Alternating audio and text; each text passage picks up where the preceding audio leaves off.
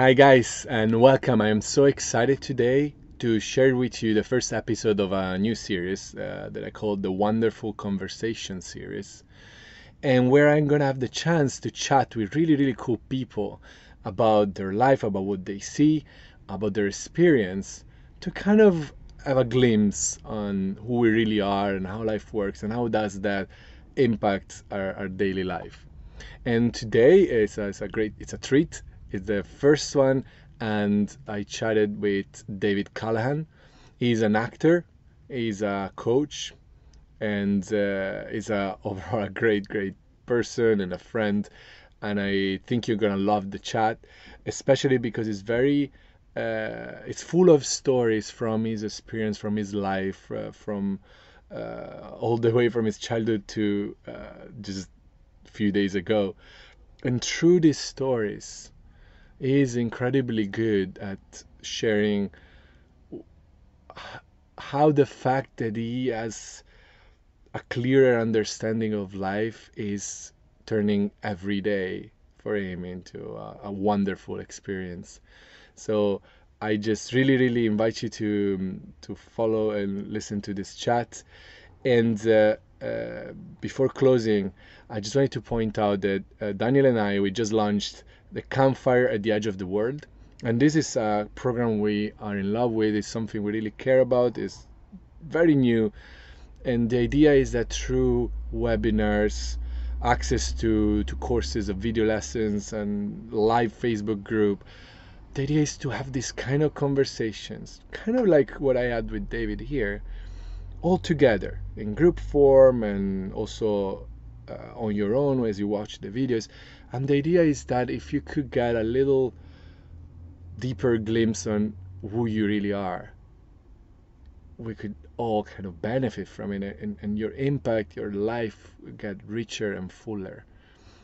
And overall, we see the campfire as a virtual space where people like you and I, people who want to express themselves even more fully and uh, walk on more solid ground, right? Have an experience of life where they can feel stronger on their feet so that they know they can face anything. You know, they can face the great unknowns of, of, of life. We wonder rather than we fear. So I encourage you to check out the page too. I'm going to put the link at the end. But uh, for now, enjoy the conversation and listen to to what David has to share because it's, uh, it's it's a wonderful, wonderful um, chat. See you later. Bye bye.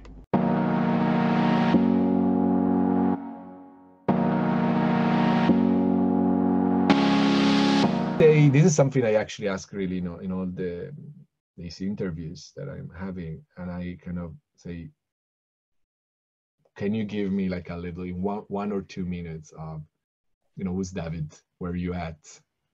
You know, what's what's current for you? and you know just a little taste of and a feel of who's David at the moment.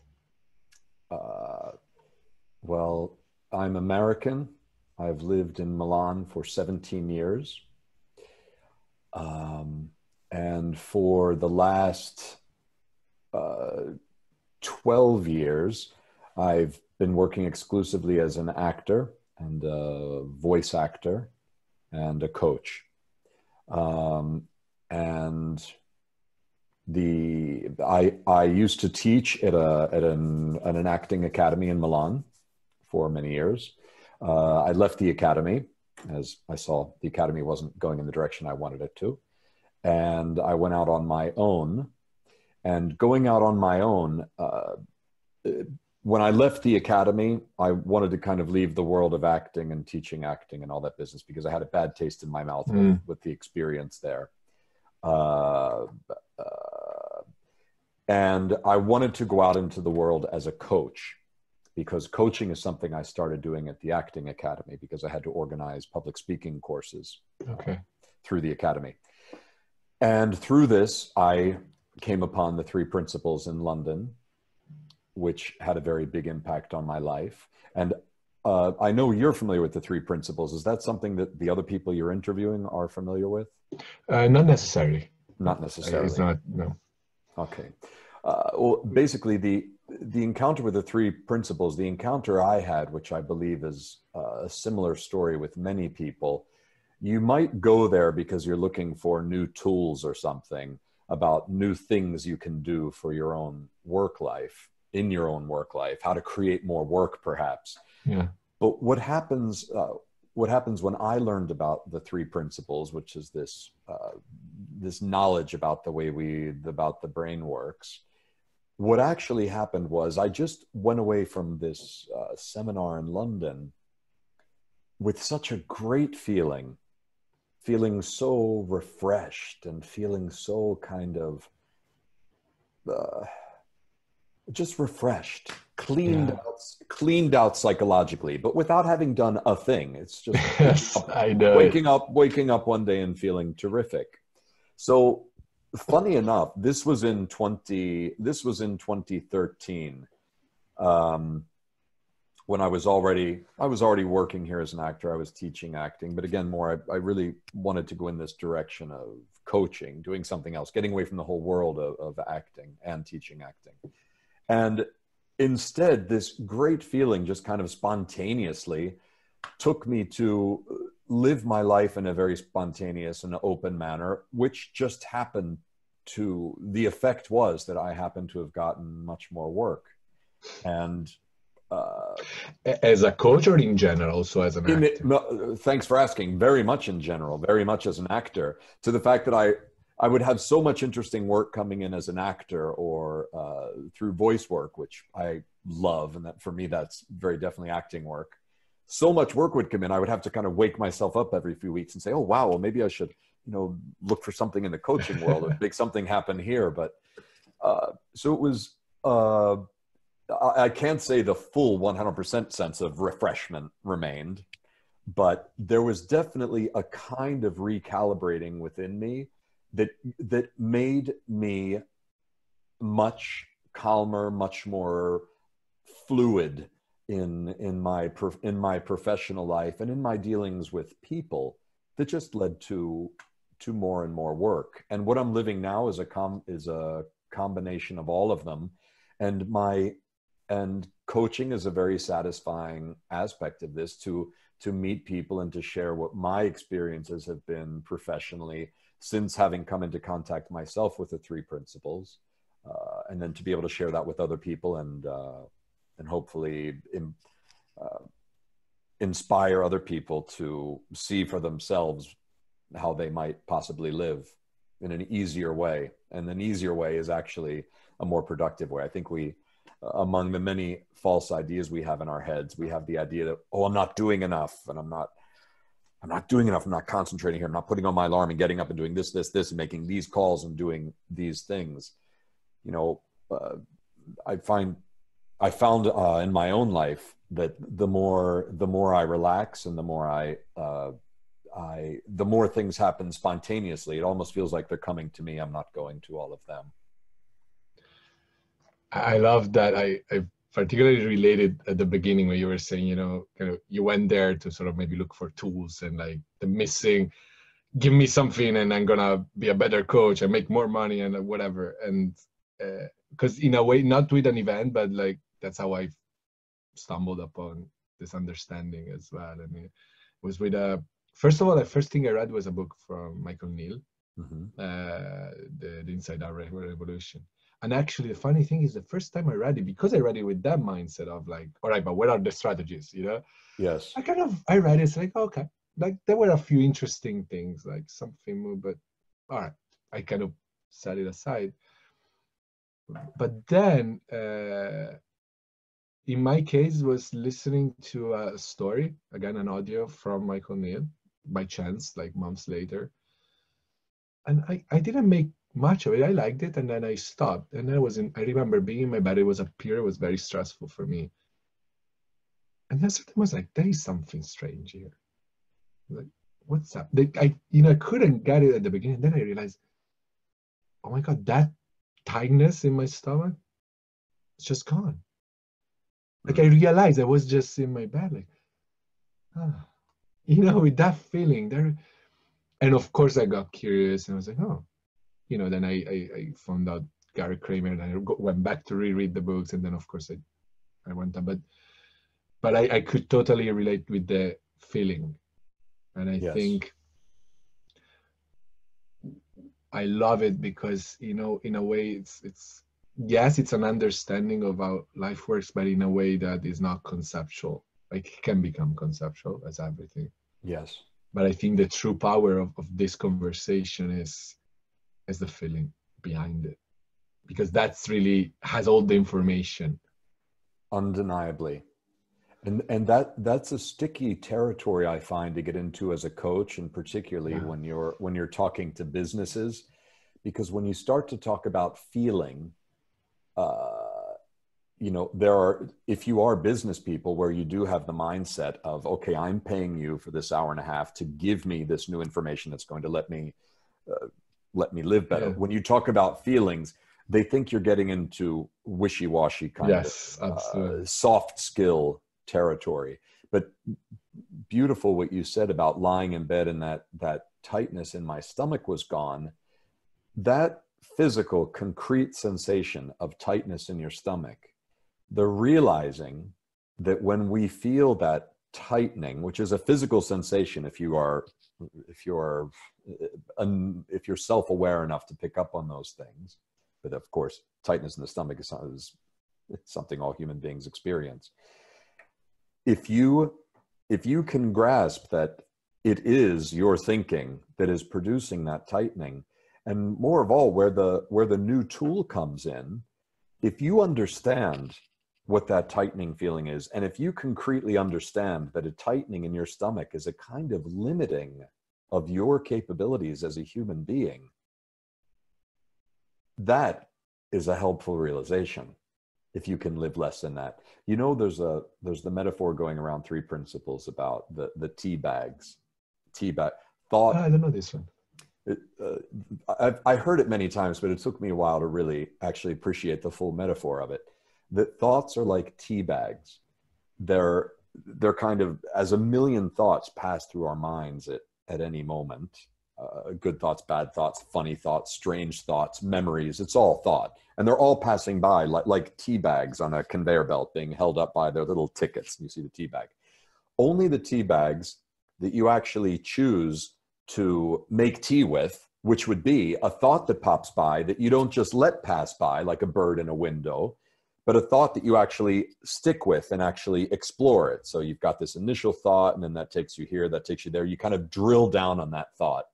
Drilling down on that thought, which is capturing something in your head and actually going there, thinking about it, taking that train, is like making tea with that tea bag. And what you have is tea that is, again, you take this this original thing that appears you add consciousness to it which would be the hot water and then you've got this experience brewed there it, it has got uh, there are there are things to experience in it. There's the smell there's the heat. You have created tea. You spend time with that tea. You either drink it or you leave it there until it gets cold and you get rid of it. But you're creating something out of that. But while you are doing all this when you are drilling down into something you're staying in one place and you're missing many other possible thoughts that could have gone by. You're drilling down, you're remaining there, which would be remaining in that feeling of the tight stomach, is kind of closing your aperture, aperture and keeping you from seeing so much more of what's happening in life or thinking you or keeping you from coming up with new helpful insights for whatever you're in. So there's something really, uh, th- there is the uh, th- there's the essential egoism that is about suffering in your own thought world. You're kind of either with yourself when you're in the thought world or you're with it all. And aren't you going to be much more effective if you're with it all? Because you're capable of seeing other things, you're capable of seeing other people in front of you. And I often coach for communication and presence. That's largely what I do when I go to companies and when I uh, teach at Bocconi University. And the concept of, of communication is fully about presence. You cannot just be drilling down in your own world just with your message. There has to be a kind of circular flow of a taking, a constant intake while, while you're giving in communication.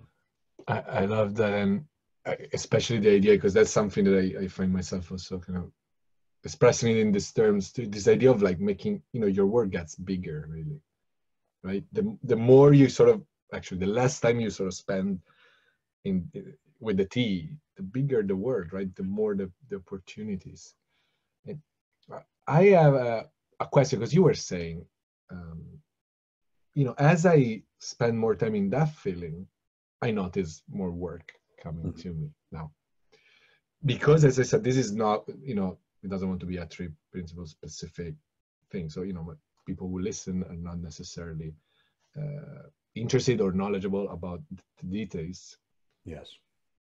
But I think, at least in my experience, that a, a question that might pop is, okay, but like, it, I think we often experience being spontaneous, living, doing what really kind of feels right in the moment with yeah but then i'm just going to be on the couch all day and not doing anything of my life. And then on the other side we see this apparent dichotomy where on the other side there is i make myself do things and i'm effective and i'm efficient right? You said something so actually by being spontaneous i found myself being more efficient more effective in what i was doing. It had more impact.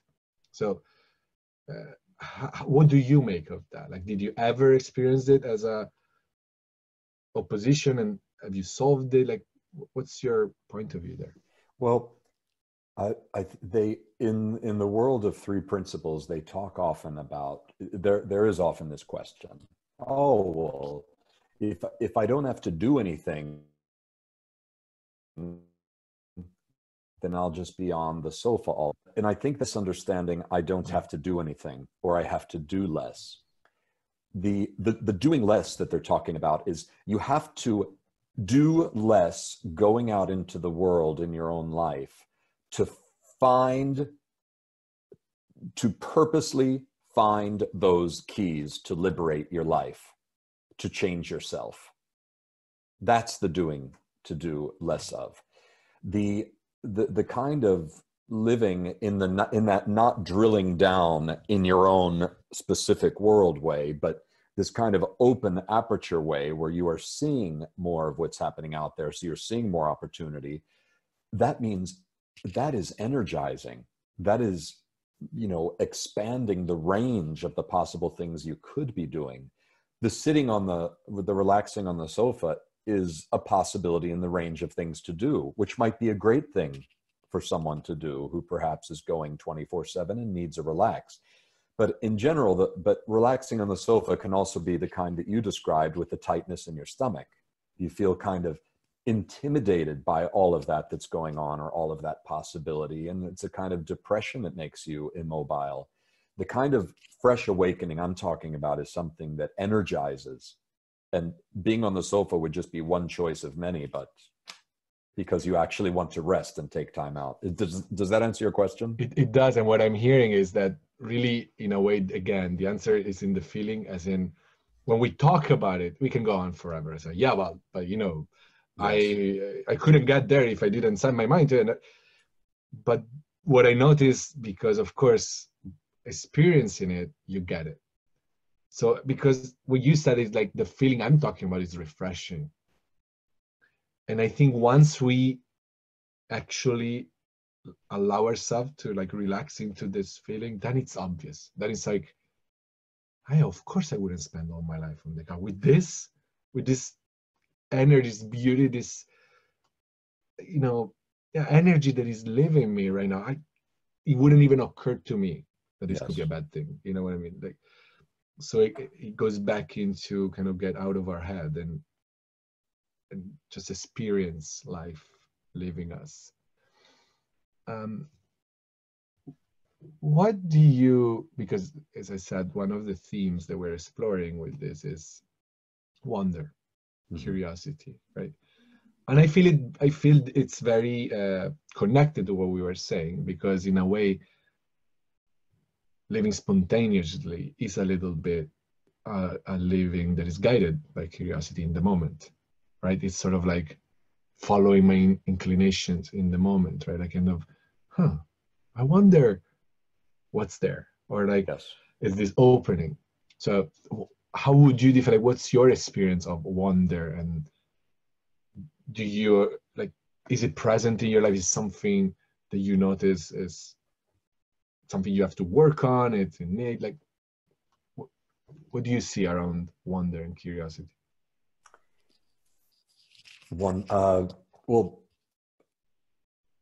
fresh back from New York City, a story that comes to mind that I think talks directly to this is the way I felt when I went back to New York. I've lived in New York for many, many years. I, when people ask me to describe New York or what I miss from New York, it's often that sense of living on the streets, as you don't really do in in Milan. It's that being out all the time among so many people and in such an energetic environment. And when I was in New York, I found myself walking. You know, your our phones count a number of steps per day. I walked for 19 kilometers the first day I was in New York without even thinking about it in a state of pure wonder. I never wanted to go down on the underground.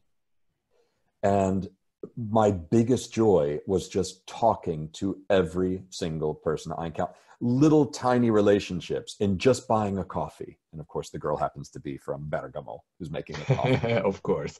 of course. Um, asking asking two ladies coming down uh, passing me on the street if I have to turn where the uh, the one and the nine train is. Do I is it on or is it on that avenue or is it on this avenue? Do I turn right or do I turn left? And during that conversation, another person comes and adds his two cents, and then even chased me down the street to suggest that I not enter at this street but at the next street because if so, I'd have to walk a long time underground, which I appreciated for his you know gratuitous helpfulness.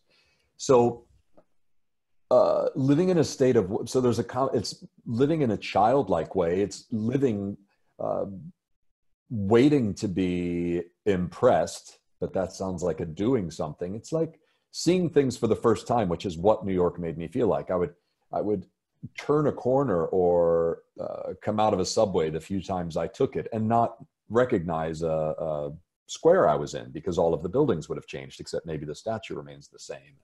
So there was this state of th- this sense of newness of it all. And I found myself, uh, I think I maybe even said it to someone when I was in New York ah, what a shame I can't enjoy Milan like this. And the, almost the minute the words came out of my mouth, I thought, well, what can't you enjoy in Milan like this? Because again, this thing that was so thrilling to me on this vacation was this these fresh new encounters with people I'd never met, and every day I felt like I could take out a, a notebook and write down short stories of these little encounters with completely different people. And I thought, so is this and like so many times I come up into, oh, well, that was just my thought. And there was no truth in that thought. That was just a thought. But that thought was creating my reality about what I assumed Milan might be. And I came back here and I treated the the guy making my coffee at the bar in the corner or the lady in the post office, my accountant. I started to treat even your accountant. I started to treat them the way but it, it was something that changed in me. I, I was dealing with them the way I was dealing with those people in New York. And it was like that that beautiful feeling I had in New York City, I brought back to Milan with me. And that was just another of thousands of examples in my life when I re- when there is something that I just assume is fact that I that is actually not fact at all. It's my thought. And that my thought is coloring this quadrant of my life. And it only takes a change in that thought that everything changes completely before you. And to recognize that kind of thing and to realize that applies everywhere. That is huge. That's liberating. That's inspiring. That is possibility is possible. Possibility is not something that you'll maybe get if you can get enough money and take that time off work or if you can do this course that's right or if you meet that perfect person or if you can finally redo the plumbing in your kitchen or whatever those reasons are if you go to the gym, if you lose 10 pounds, if you, possibility is right here. And that's the thing that makes you relax in your chest to know the mm. possibility is here. And that sensation comes and goes. But once you've really seen the truth in that, it's something you're going to miss when you don't have it. You're going to desire getting back to it. But then, with your knowledge that things are fluid and go up and down, you're also not going to freak out when you're not feeling like that. And no, I don't feel like that every day. It, it's uh, it's well, yesterday I was sharing in a in a session like that to me one day I was in a conversation with uh, with Daniel and my insight it was about an event where I wanted to go, and it was uh, I was invited, and it was a pizza evening, as you know. Here it's quite common, and I said like, yeah, but I don't want to go because if I have to go there, I have to make connection and create clients, and like you know, because of, and I just like, and I was talking, and really at a certain point, as we talked, the the thing that clicks to me is like, oh my god, are you saying that I can go to the pizzeria and just have a pizza? and like literally just do that and enjoy that and the, and it seems so simple sometimes you know like are you saying i can go even in milan? I can get a coffee and like greet the the the lady? You know it's it, it might sound such simple realizations but but somehow it changed that because i think that's as you said where all our weight and tightness comes from. From a lot of you know a, a, bunch of these ideas oh yeah well i can't possibly do that. And like you know milan is like that. And you know if you go to that event you need to milk it you know and get more yes. And it's insane how many of this we carry with us. And and it's interesting your biggest reaction was when i said with my accountant. And I imagine you said that because, like with me, usually going to visit my accountant is going with this tightness in my chest, just preparing myself for whatever the, the new bureaucratic nightmare is going to be that month. But I realized as I was sitting in front of my accountant, and because our face to face encounters are very few, and he's also a friend, or I knew him I was an acquaintance with him, so he became my accountant. We'd become friends as in this relationship together. But we always have those first few minutes of just you know chatting. How was your summer? Whatever.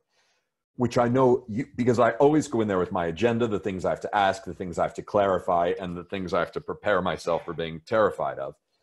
As we were having that initial chat, I just looking at his face, I realized I was looking at him like a friend, like another person without that whole construct around him of my accountant who's going to ruin my life.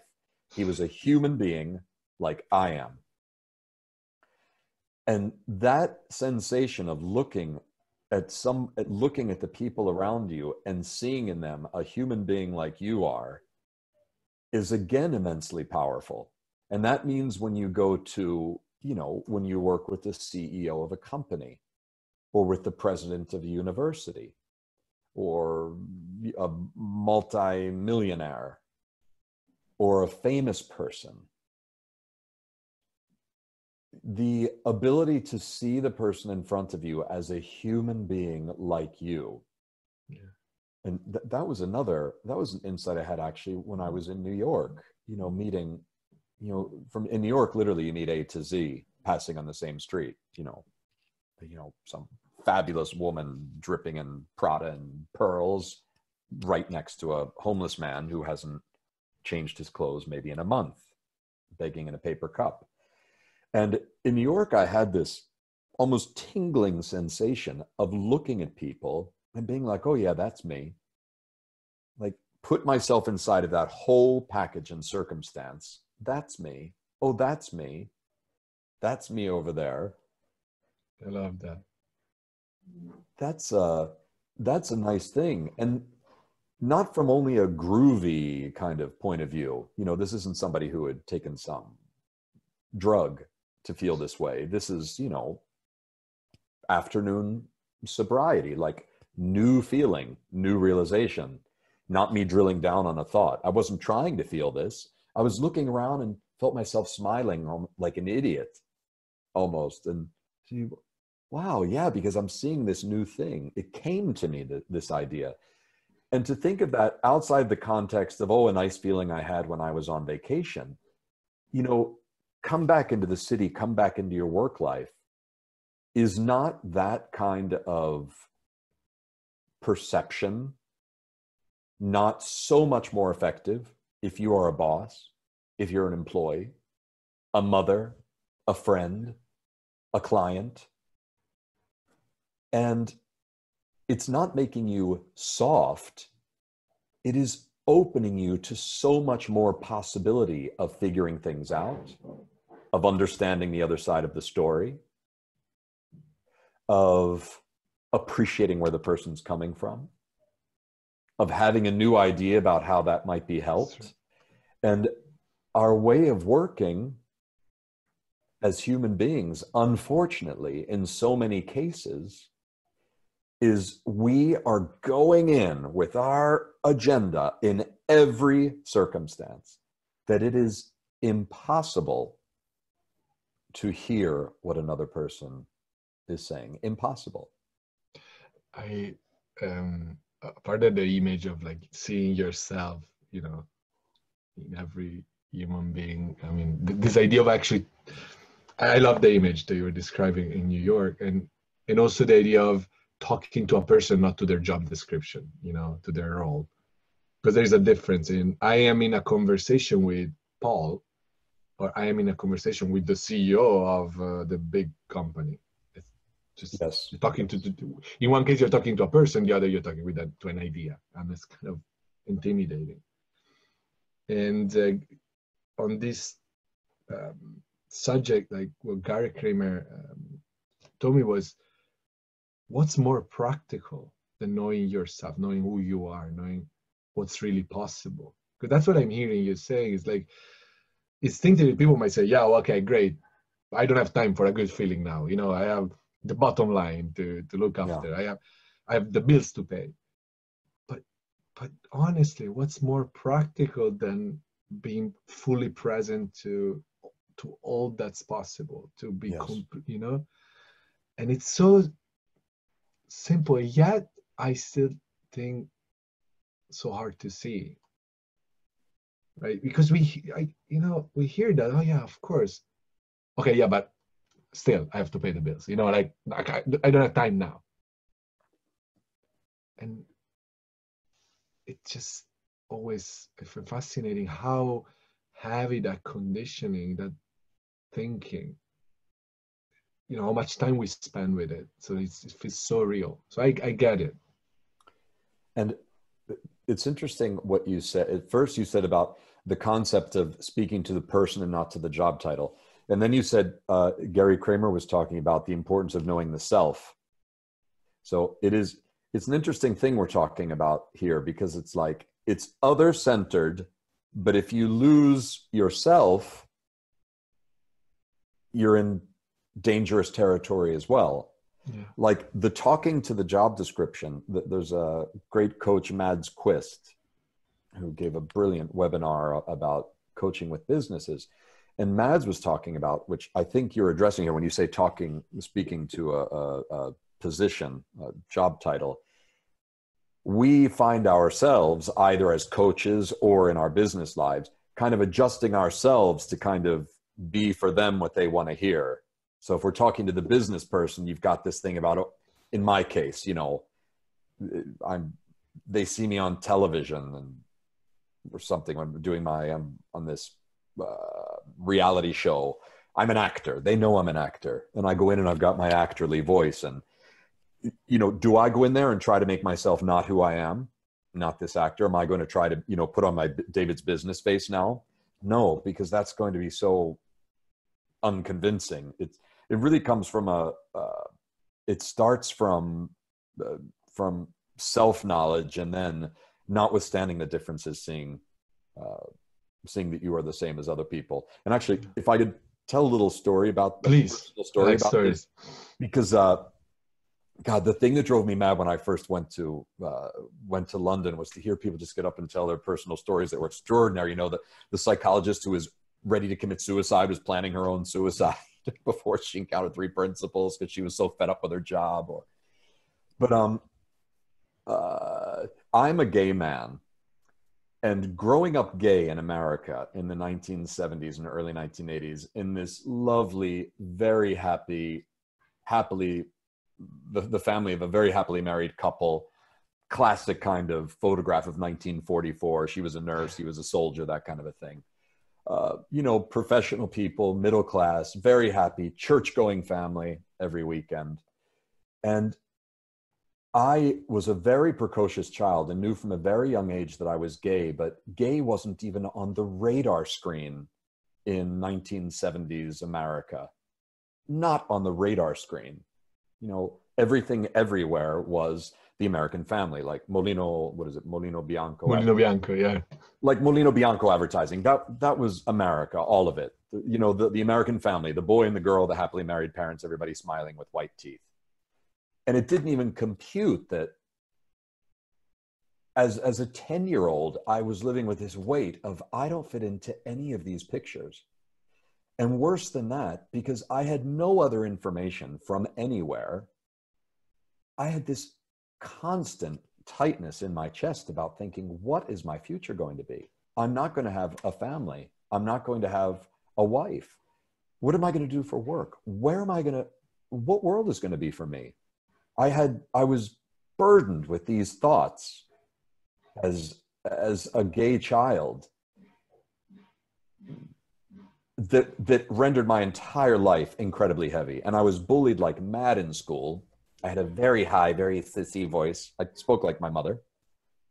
I was bullied terribly in school to the point where I was avoiding, like, I was afraid of church because I was afraid of maybe meeting parents whose children went to school with me and knew that I was the sissy boy, or I was just th- this thing over my head uh, of who I was and where I was going to go and being ostracized by society before I even came out as homosexual. I was just sissy boy, but in my mind, it was all one ball of wax. So I was a really paranoid, drilling down individual. And when I finally came out to my parents, my very evolved, very spontaneous father, who comes from wisdom and mind and not from drilling down, when I told my parents I was gay, my father paused and he said to me, You know, you've waited 22 years to tell us this. Were you 22? I was 22. Said, You've waited 22 years to tell us this. This makes me believe that you waited so long because somewhere in your mind, you assumed that I would have loved you less had I known this. And for wow. that, and for that reason, that probably inspired that weight i i i ask for your forgiveness. I apologize. Wow. Wow is is right. It was an extraordinary moment. An extraordinary moment. And that was very beautiful. And that inspired in me you know a great wow i'm actually okay as a human being and uh, and I can be loved even if people know this thing. And so I just threw like a sandbag over a hot air balloon. I just threw that thought that I am essentially not right. But unfortunately, a kind of new thought came into my head from that moment that was another erroneous thought and extremely, uh, that kind of made me arrogant. It kind of took me from complete uh, terror and closure to a kind of aggressive explosion in which I I resented the fact that I had wasted so much of my youth mm. living in paranoia. And I kind of had this assumption that, well, if I've paid so much in suffering in my youth, the world kind of owes me a living now. And it put a kind of arrogant chip on my shoulder. And of course an arrogant chip is defensiveness. It's just an, it was another form of defensiveness. It wasn't a closed kind of defensiveness. It was a kind of yeah. aggressive defensiveness. And i lived in that for a while but the worst part of that to go back to what we were talking about before about identifying, my, identifying myself with people the worst part of that arrogance was seeing the world so much through my own eyes that I saw the only real essential point of suffering in the world is suffering if you are homosexual in a world that's against it. And I found myself having no empathy for any other kinds of pain or problems. My sister's issues in their lives or with their children or with their husbands or in their professional lives or health problems or anything. I, I had this thought in my head like, well, you don't, you don't have to deal with what I'm, what I have to deal with. So that's not real. And that created so much distance for me before I had the new realization that I can't say was completely inspired by the three principles because the three principles at the end of the day is just telling you the way we work. And the way we work is the way we're working. And the three principles were working through me in my life. They were helping me to get where I was. But it was also all around in that moment and having these new ideas like, that's a wrong idea too. And actually, that kind of insecurity I felt is experienced by everyone, but in different ways, different contexts.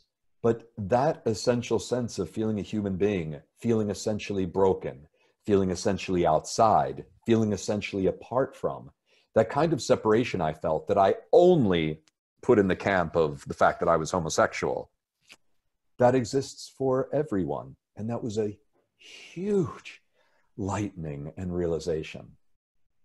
And that is why to see the truth of it all, that we are only living within our conceptualized version of everything of ourselves, of our partners, of our city, of our you know professional life or social standing we are living only in our conceptual conceptualized box of everything which means that everything can have its secret that's going to show itself that day.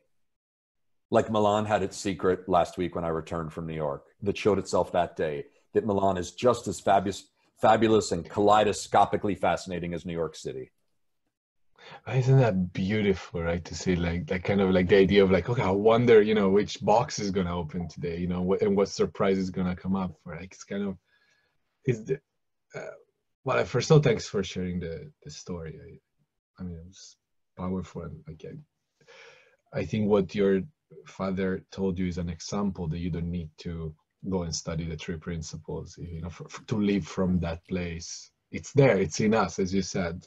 Yeah. Um, it's just that we forget, and I guess knowing our works can help to reconnect, but it's there whether we study it or not, and I. I think that is also beautiful. And one thing when you were saying about realizing that that feeling of separation of uh, anxiety or misunderstood being misunderstood and things like that are actually something we all explore and don't you i mean i find it so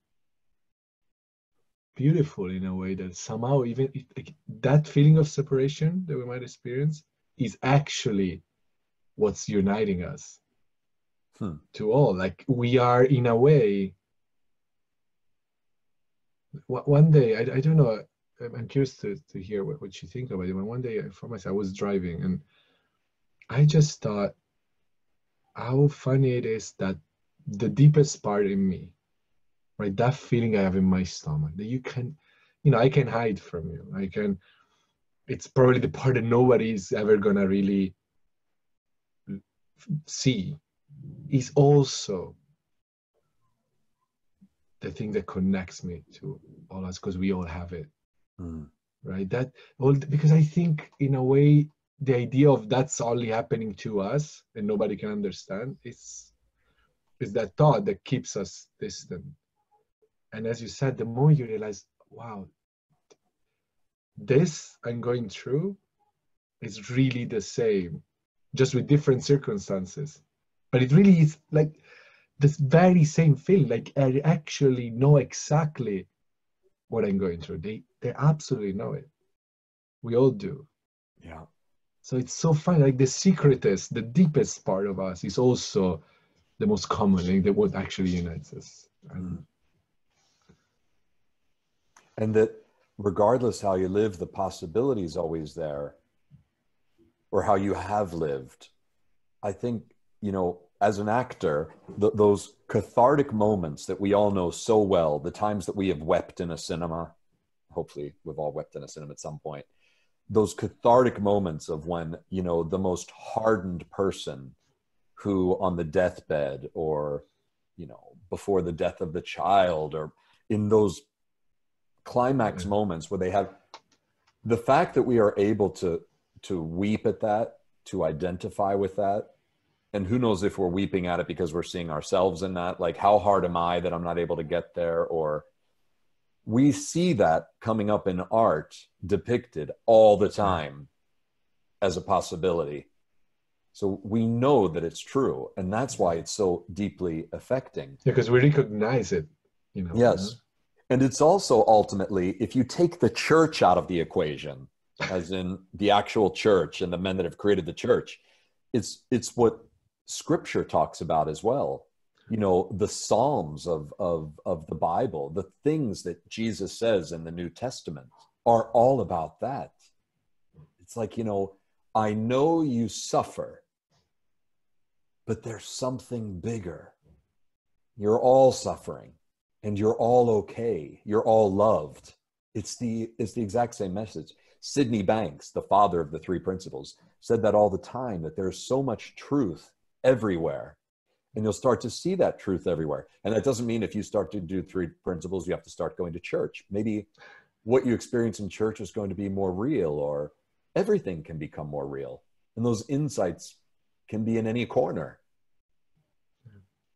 Yeah, because eventually those are all ways of pointing, whether it's a song, a movie, or the three principle course. It, it, there's a ways of pointing us to what's already true in us, when we know Yes. But if it's about relaxing to like, huh, no, really, you know, I, I am okay.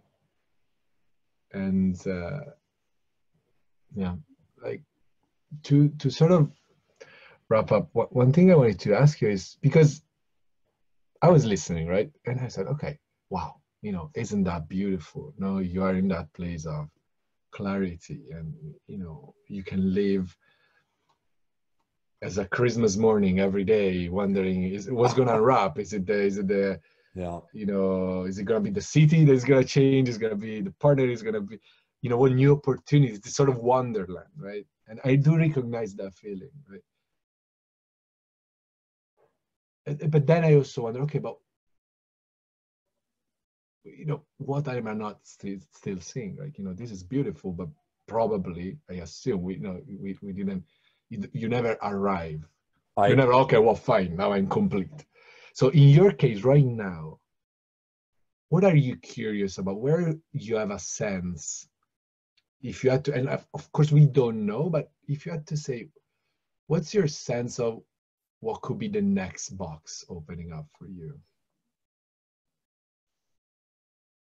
Well, well, the first thought that comes into my mind is I'm thinking if you would say something like that to Sid Banks, like, yeah, this feels great, but what am I, but what greatness am I not getting?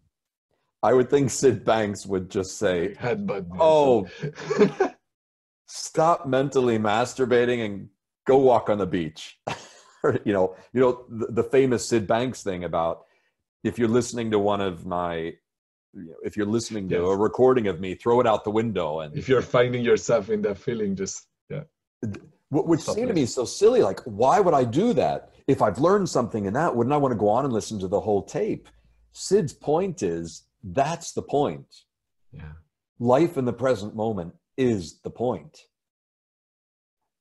I, I love this. I, I, have the, there's this little boy, uh, he was a little boy. Since he's eight years old, I have coached this boy. He's now 17. Well, this is long before the three principles. When I was I was a tutor for him in English. This kid is now an adult. And because I am, our time together, I would say, has taken on a more coaching relationship because it's a conversation now. We go, we talk in English. It has much less to do with correcting grammar now and just talking about things and concepts. And I was at his house yesterday after his vacation, and this 17 year old, beautiful young 17 year old Italian boy, very intelligent, from a very wealthy family who is going to go off and study economics at a at a at Bocconi University. A lot of possibility for this kid, um, and a lot of rigorousness behind his preparation. And we had the most beautiful hour and a half conversation yesterday in which he brought up how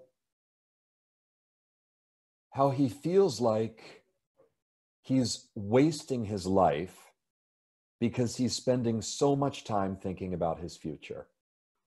Mm. And this is a sensation I've had. Uh, I'm good friends with the mother as well, who very much wants the best for her children and pushes, pushes. I mean, it's all about the summer isn't the summer. The summer is a summer program in, in mm. England to improve your English. That's got to be, you know, in a med school if you want to become a doctor. It's got to be with a financial group of it. I mean, there is so much pushing and stress on these kids, which I've always felt, and it's always given me a great deal of tenderness. When he came out with this yesterday, it was so beautiful. And he kept talking and he said, You know, I find myself thinking, you know, I'm finally going to be happy when I don't have to take public transport anymore because I'll have a car. Or I'm thinking about, you know, how I'll finally be happy when I'm not living here anymore because I'll have my own apartment.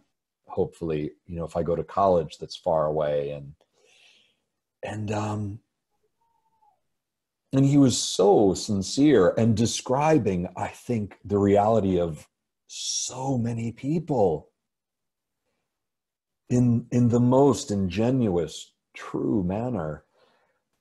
And i mean i you know and it's it's only going to be valuable if you come up for it for yourself. So he had already come up with what was useful for himself this you know don't lose now if you're if you're living in the future. And and um yeah. And i told him a little bit about my experience in new york and i said to him i said you know i get the same sensation. And i talked told him about that happy feeling i had in new york and that sense of attachment and just living in the moment and the things that came up were so entertaining and beautiful to me.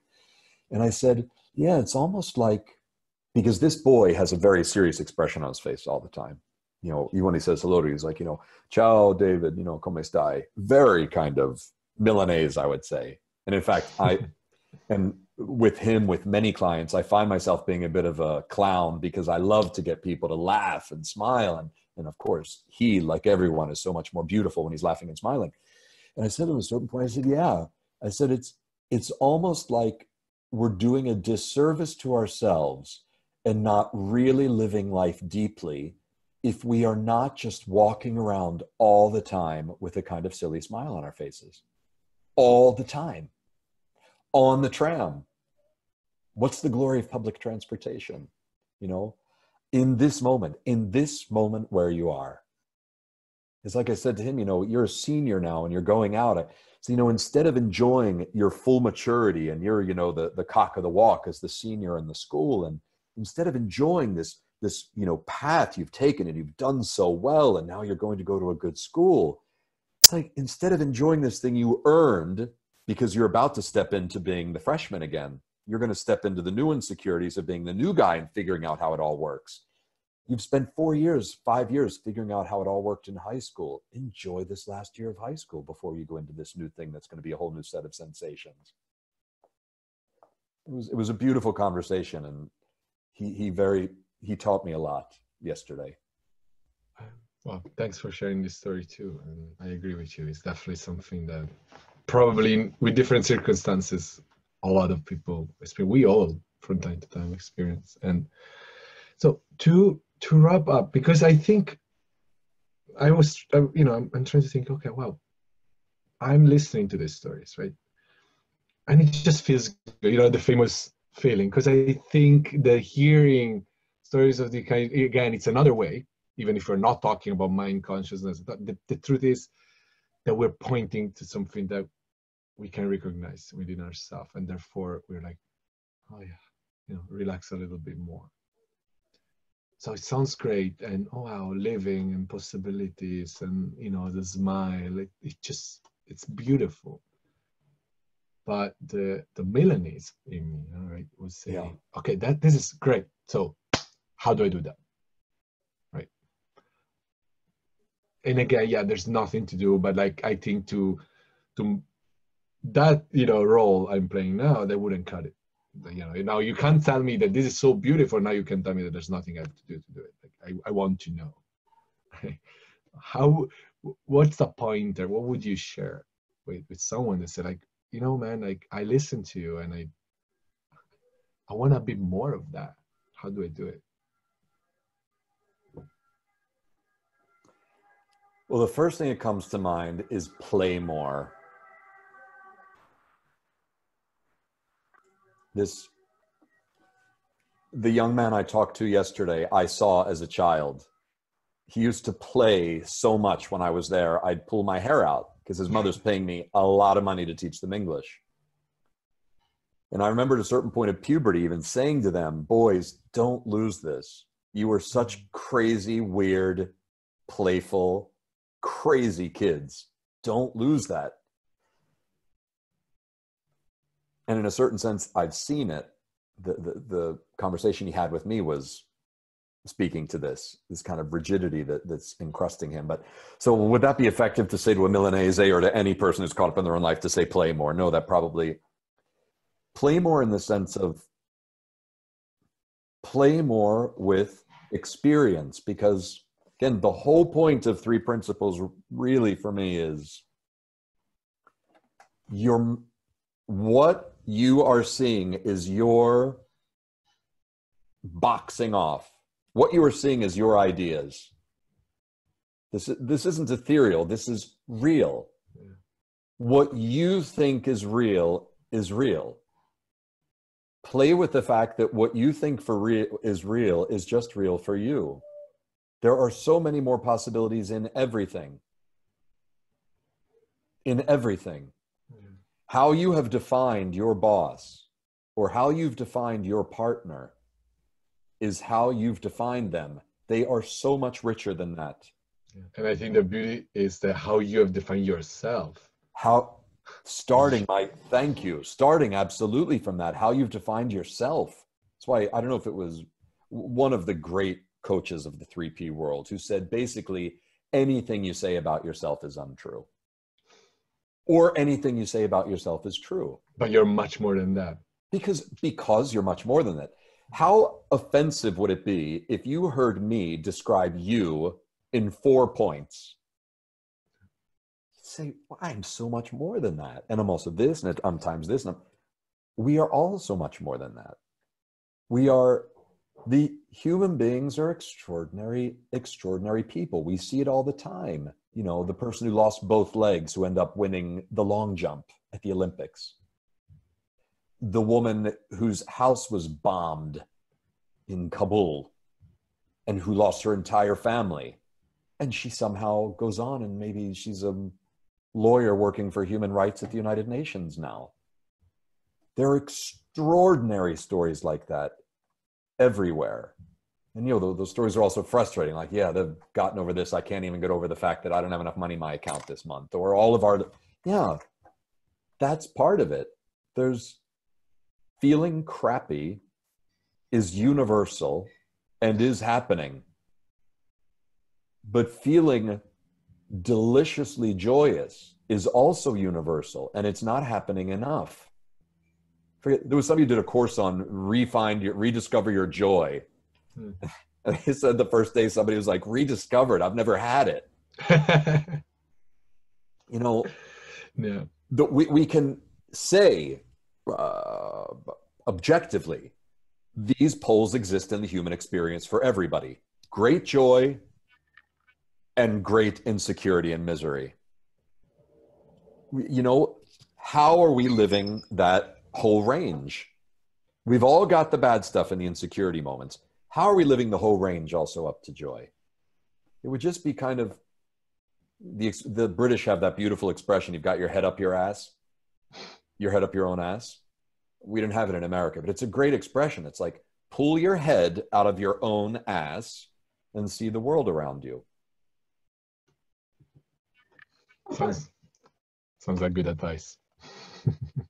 and the and the truth of the matter is, when we're down, we can't see anything. That's to be taken as fact. So don't think about, don't organize your life and whatnot when you're down. Don't drill into those tea bags when you're down.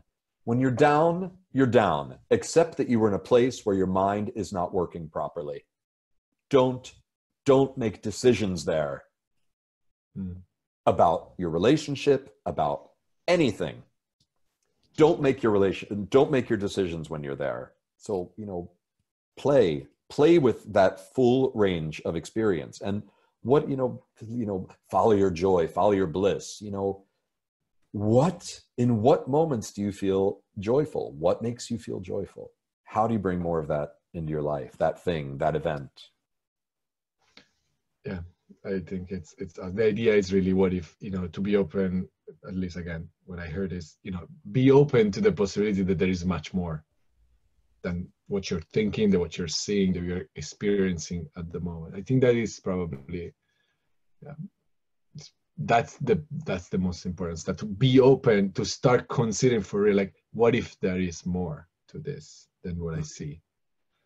And yeah i love the idea of exploration it's sort of like play with it as you say you know when, when i hear players like go explore try you know take yeah. things because uh, you know we, we recently created this uh, group the we called it a campfire at the edge of the world. Mm right? And the idea is really kind of this place where we can all get together and, and share stories about and, and help each other get to the edges of as you said of this sort of world we build for ourselves. And let's go and look because there is more let's see how that looks like because yeah. it's fun right and not because that's gonna save your life just because it's fun right yeah david i thank you so much for the um, what it's called. Is there anything that you say like, yeah, I, I would like, you know, anything else that's coming up that you would like to share? Or um, you think you were complete? Are there some final words of wisdom from you? You shared with us so many already. Uh, uh, yeah, one word patience. Hmm.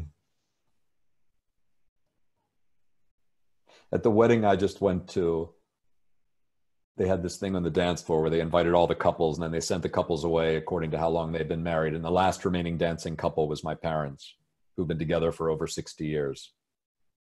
And at the end, the disc jockey said to my dad, So, what's the key to a happy relationship? And my dad said, One word patience. Mm-hmm. and we know my dad's wise. Exactly. I would trust the wise man. so be be patient because you know you know the, the you can watch you can you can watch a webinar like this and maybe feel inspired by it or you can watch a webinar like this and just kind of think oh screw them and their flighty whatever my life stinks and it's di-. life is like that in many points patience is you know be patient that if you don't do anything now while you're in this murky soup, be patient that things change. That's the only guarantee. Things will change. And things keep changing like this. So be patient. Be patient. Michael Neill says, you know, success is staying in the game long enough to get lucky. yeah. Yeah. I love that. Yeah, yeah. And thank you so much. This has been a Thank real... you. It was uh, fantastic to talk to you and uh, Yes.